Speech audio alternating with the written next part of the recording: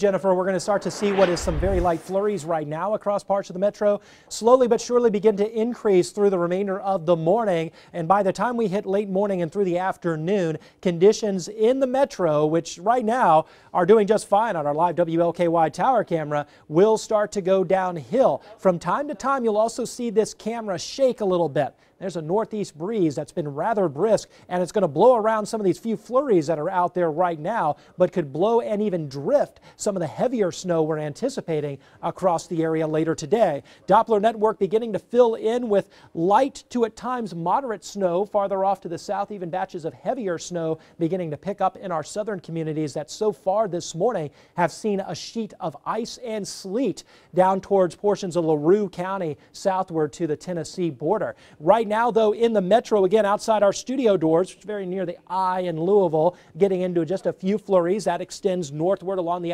I-71 corridor. I-64 picks up a little bit once you get towards Crawford County and head westward from there through Dubois County and over towards the Evansville area. And also some snow beginning to fly now towards Breckinridge County, Hardinsburg, Rough River Lake. That snow is going to be picking up over the next few minutes. And here's some of the heavier precipitation. You see those darker shades of blue.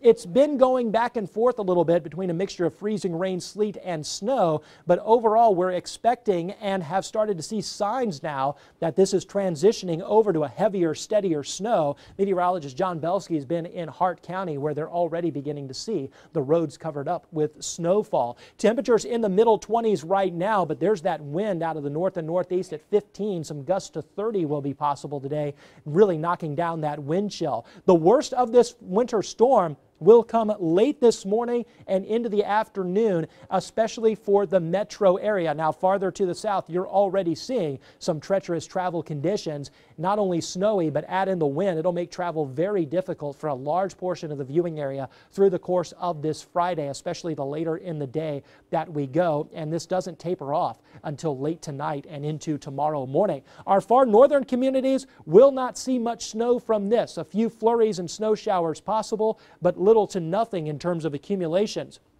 a one to four inch stripe right along and north of the Ohio River into southern Indiana and including Trimble and Carroll County into Kentucky. But a four to eight inch zone will be more common from Louisville and points on off towards the south and southeast. Even a heavier band setting up near the parkways southward where we could see up to a foot of new snow fall. So that snow will be heavy at times, breezy and cold through the day before tapering off. Travel, though, is going to be tough even into tonight and likely tomorrow morning. I would think we're going to at least have to give the road crews a solid 12 to 24 hours to be even begin uh, to get the upper hand on some of the heavier snowfall amounts, which will be in our southern communities, it looks like, with this particular storm system. So we'll continue to watch it. Again, the radar getting more and more active, and we'll continue to keep uh, tabs on that transition over to some heavier snow and tougher travel.